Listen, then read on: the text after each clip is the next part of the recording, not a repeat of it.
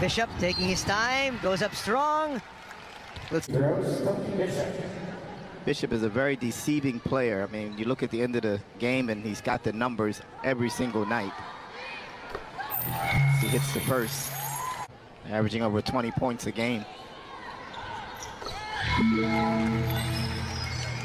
Two swishes there. Taking his sweet time, slams it through. Say they're not in shape, but this is their first game. This is the third game for Converge. And we did see the first couple of games.